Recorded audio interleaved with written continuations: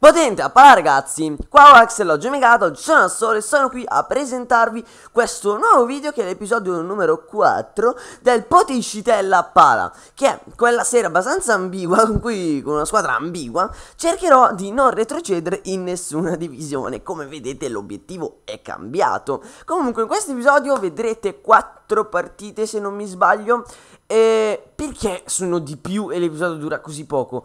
Perché, diciamo, in questo episodio si noterà ehm, come un avversario, come un giocatore reagisce quando vede che il proprio avversario, che nella squadra del proprio avversario è presente Piscitella, Moscardelli e il talismano Traoré.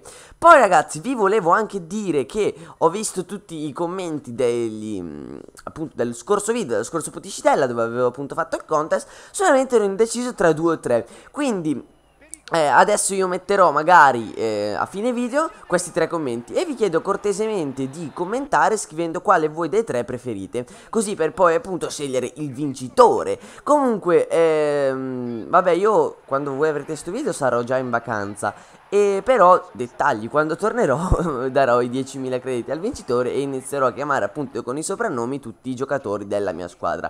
Comunque la prima partita va abbastanza bene perché, sul perché vinco 3-0, Giamaro Piscitella con questo grandissimo gol firma il 3-0 e appunto come vi dicevo prima l'avversario dice no ragazzi questo a, a Moscardelli, Piscitella, Traoré non posso competere con lui e quitta già alla grande.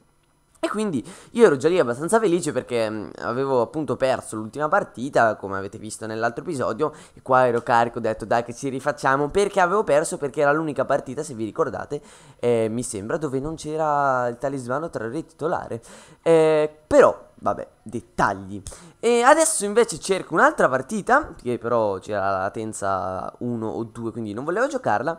E trovo, minghie, questo bel 3-5-2 nella Lega Russa con in attacco Wellington e, eh, e Meniche. Ma guardate qua la finalizzazione di Iaquinta, che gol stava per fare. Ahimè, la porta si è spostata, quindi lui non ci poteva fare niente. Comunque vi stavo dicendo della sua squadra, cioè pensate avere eh, in difesa Yepes. Ah, poi ho comprato Stendardo che è la bandiera della squadra.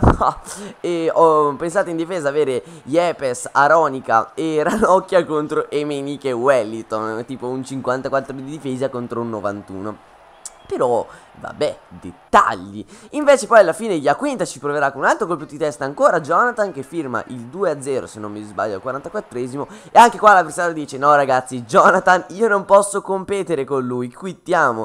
Quindi vinco per la seconda partita di fila grazie a un quit dell'avversario. Vabbè, poi non so come sarebbe finita la partita, però sta andando abbastanza bene. E quindi il risultato vittoria sconfitta era 7-0-1, abbastanza buono. Poi eh, mi sono passato ecco dei contratti, non so se l'ho fatto vedere perché ragazzi non so se avete visto ma quanto cavolo costano? Un, pagare un contratto 500 è una ladrata. E quindi ho detto ma sì negli altri account ce li ho me li passo. Invece adesso guardate un po' che squadra trovo contro. Un 4-5-1 con un attacco il magico Swain però guardate al primo minuto io la metto in mezzo il portiere la prende anche lui dice no ragazzi Jonathan Moscardelli Traore Piscitella io non posso farcela. Si fa un bel autogol potente e poi cosa fa quitta anche lui, quindi è una cosa veramente bella. E ehm, comunque, aspettate, se uh, mi date un attimo il tempo, datemi proprio due secondi tattici, io vi andrei a cercare anche, eh, ma non ce la fo, mi sa. Eh, wait. Tanto voi gustatevi il video, guardate qua, che bella azione, io non sto guardando quindi non so neanche se stanno facendo un'azione.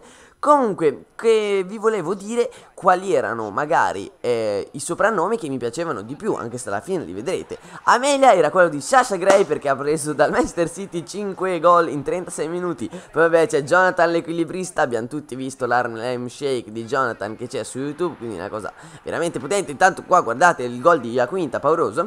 E Ranocchia Bolt, poi Rocky su postone perché appunto è pelato.